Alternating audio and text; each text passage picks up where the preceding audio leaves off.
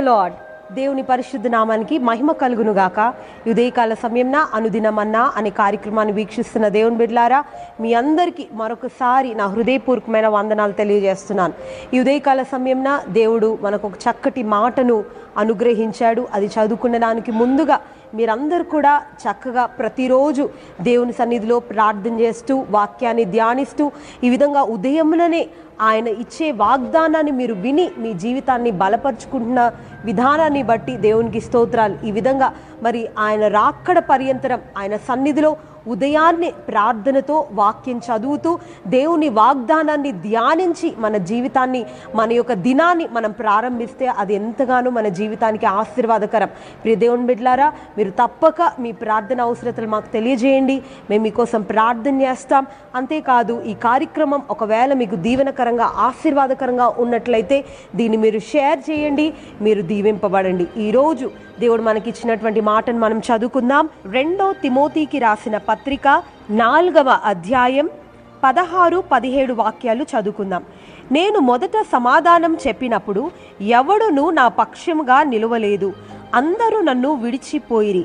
ఇది వారికి నేరంగా ఎంచబడకుండునుగాక అయితే నా ద్వారా స్వార్థ పూర్ణంగా ప్రకటింపబడు నిమిత్తమును అన్యజనులందరూ దాని విను నిమిత్తమును ప్రభు నా ప్రక్క నిలిచి నన్ను బలపరిచెను గనుక నేను సింహం నోట నుండి తప్పింపబడితిని. ప్రియదేవుని బిడ్లారా అపోస్తుడైన పౌలు తిమోతికి పత్రిక రాస్తూ ఈ మాటలు ఆ పత్రికలో రాసినట్లుగా మనం గమనిస్తాం. ప్రియదేవుని బిడ్లారా మొదటిగా అపోస్తుడైన పౌలు ఏమంటున్నాడు అనంటే నేను మొదట సమాధానం చెప్పినప్పుడు ఎవడునూ నా పక్షముగా నిలవలేదు. అందరూ నన్ను విడిచిపోయిరి. ఇది వారికి నేరంగా ఎంచబడుకుండునుగాక ఇది మన దేవాది దేవుడు మన ప్రభు అయిన యేసుక్రీస్తు యొక్క హృదయంగా మనకు కనబడుతుంది. ప్రియ దేవుని బిడ్డ అపోస్తుడైన పౌలు సత్యం బోధిస్తున్నప్పుడు మరి యేసుక్రీస్తు యొక్క మార్గాన్ని ఖండితంగా బోధిస్తున్నప్పుడు కొంతమంది ఆయనను వెంబడించినట్టుగానే వెంబడించి ఆయనను విడిచి వెళ్ళిపోయారు. అంతేకాదు ఆయన పక్షమున ఎవ్వరూ నిలవలేదు అని చెప్తున్నాడు. ప్రియ దేవుని బిడ్డ నిజంగానే మనము సత్యం మాట్లాడుతున్నప్పుడు మనం నిజం మాట్లాడుతున్నప్పుడు సత్యం కొరకు నిలబడినప్పుడు ఎవ్వరు మన పక్షంన నిలబడరు.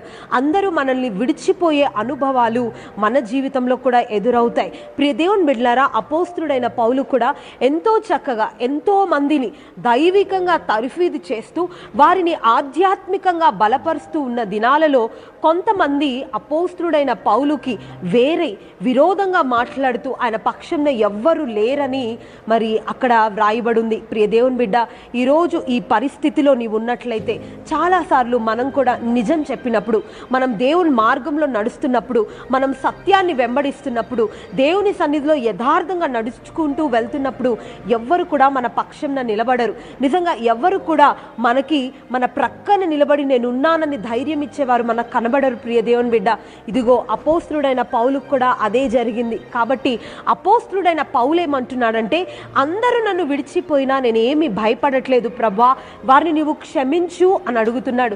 ప్రియ దేవుని బిడ్డ ఎంత గొప్ప మనస్సు కదండి అపోస్తుడైన పౌలుది. ఈ యొక్క మనస్సు మనందరికీ కూడా దేవుడు దయచేయాలి ఉదయకాల సమయంన. ఈ విధంగా ఇటువంటి మంచి మనస్సు ఎవ్వరు మన పక్షంన నిలబడకపోయినా ఎవ్వరు మన గురించి సాక్ష్యం ఇవ్వకపోయినా ఎవ్వరు మన ప్రక్కన నిలబడి నేను ఉన్నానని అభయం ఇవ్వకపోయినా మనము యథార్థంగా నడుచుకొని నిజంగా చాలాసార్లు మనం చాలా మందికి మేలు చేస్తూ ఉంటాం. చాలామంది ఇబ్బందులో ఇరుకులో వారు కష్టాల్లో ఉన్నప్పుడు వాళ్ళని లేవనెత్తుతాం వారిని ధైర్యపరుస్తాం మనం చేయూతనిచ్చి వారికి సహాయం చేస్తాం. అటువంటి మనుషులే మనల్ని విడిచి వెళ్ళిపోయి మనకు విరోధంగా మాట్లాడుతున్నప్పుడు కొన్నిసార్లు మన మనస్సు కలత చెందుతూ ఉంటుంది.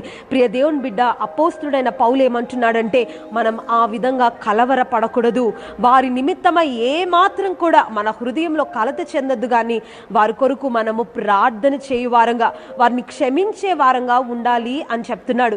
ప్రియ దేవుని బిడ్డ ఆ విధంగా మనం ఉన్నట్లయితే అపోస్తుడైన పౌలు జీవితంలో జరిగింది ఏంటి అనంటే కంటిన్యూయేషన్ వర్స్లో ఆయన ఏమంటున్నాడు అనంటే నా ద్వారా సువార్త పూర్ణంగా ప్రకటింపబడు నిమిత్తము అన్య జనులందరూ దాని విను నిమిత్తము ప్రభు నా ప్రక్క నిలిచి నన్ను బలపరిచెను. ఆమెన్. ప్రియ దేవుని బిడ్డ ఈ విధంగా ఎవ్వరు నిన్ను విడిచి వెళ్ళిపోయినా మరి ఎవ్వరు నీ ప్రక్కన నిలబడకపోయినా ఒకవేళ నీ భర్త నిన్ను విడిచిపెట్టినా నీ పిల్లలు నిన్ను విడిచిపెట్టినా నీవు ప్రాణంగా ప్రేమించిన నీ స్నేహితులు నేను విడిచిపెట్టినా నీ ఆప్తులు నీ ఇరుగు పొరుగు వారు నువ్వు ఎంతగానో ప్రేమించినటువంటి నీ సహోదరులు నిన్ను విడిచిపెట్టి వెళ్ళినా ఇదిగో నా ద్వారా మేలు అనుభవించారే. నేను మేలు చేసినంత కాలం నాతో పాటు ఉన్నారు. నా సహాయానికి ఈరోజు ఎవ్వరు నా ప్రక్కన లేరే అని నువ్వు బాధపడుతున్నావేమో.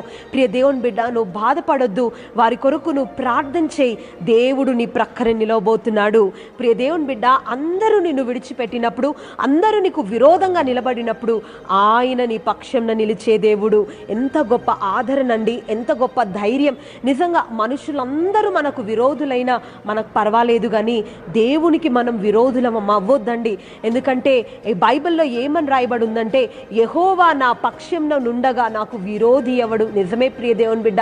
ఆయన మన పక్షంన నుంటే ఎంతమంది మనకు విరోధంగా నిలబడినా ఆ విరోధమైన కార్యాలు ఏవి కూడా మనల్ని ఏమి చేయలేవు. ఎందుకంటే ఆయన మన పక్షంన నుండి ఆయన ఏం చేస్తాడంటే సింహపు నోట నుండి ఆయన తప్పిస్తాడు.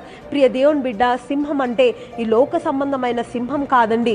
సింహం లాంటి మనుష్యులు మరి అపోస్తుడైన పౌలు జీవితంలో కూడా యూదా వారు అన్యజనులు అనే ప్రాంతానికైతే వెళ్ళారు. తన సొంత ప్రజలు మత బోధకులు వీరందరూ కూడా సింహము వలె ఆ నీరో చక్రవర్తి మరి ఆ దినాలలో అపోస్తుడైన పౌలుకు విరోధంగా నిలబడ్డారు. వీరందరి నోట నుండి నన్ను తప్పించాడు అని అపోస్తుడైన పౌలు చెప్తున్నాడు. ప్రియ దేవుని బిడ్డ అపోస్తుడైన పౌలు జీవితంలో ఎదురైనటువంటి ఇబ్బందులు నీ జీవితంలో కూడా నువ్వు ఎదుర్కొంటున్నావా? సింహాలలాగా మరి నీ ఇంటి వారిని మీదికి లేస్తున్నారా? సింహాలలాగా నువ్వు ఉద్యోగం చేస్తున్నటువంటి ఉద్యోగ స్థలంలో ప్రజలు నిన్ను వ్యతిరేకిస్తున్నారా? సింహాలలాగా ఎప్పుడెప్పుడు నిన్ను మృంగేయాలా? ఎప్పుడెప్పుడు నిన్ను పడద్రోయాలా? ఎప్పుడెప్పుడు నిన్ను పతనానికి దిగజార్చాలా? అని ప్రజలు నీ మీదికి సింహాలలాగా వేచి ఉన్నారా? ప్రియదేవుని బిడ్డ నువ్వు భయపడొద్దు. ఆయన నీ పక్షంలో నుంటే సింహాల నోటి నుండి ఆయన తప్పిస్తాడు.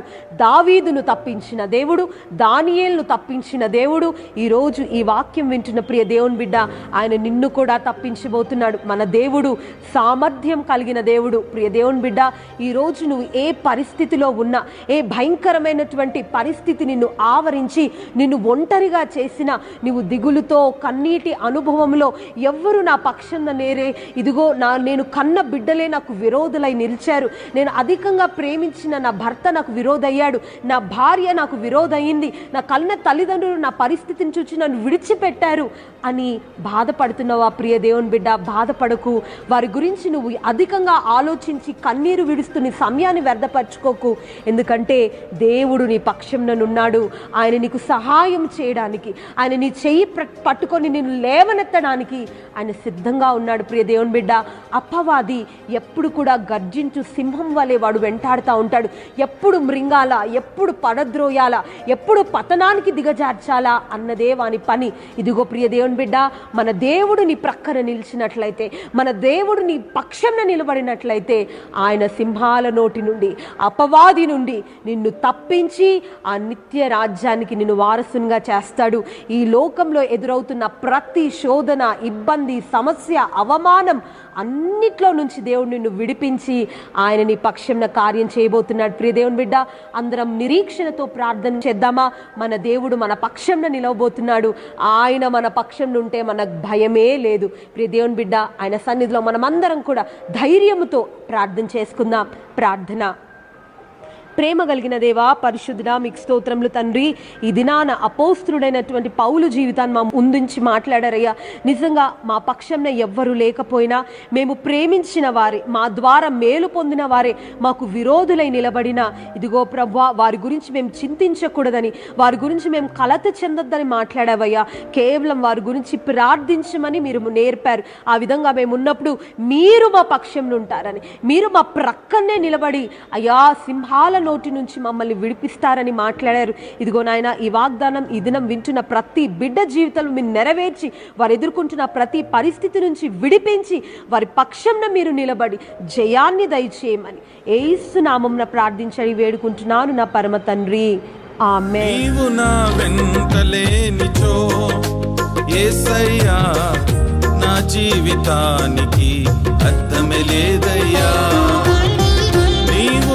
వెంటలేనిచో ఏసయ్యా నా జీవితానికి అర్థమే లేదయ్యా. ధరణియందునా పరమందునా ధరణియందునా పరమందునా. నీవు తప్ప నాకెవరు ఉన్నారయ్యా. నీవు తప్ప నాకెవరు राधया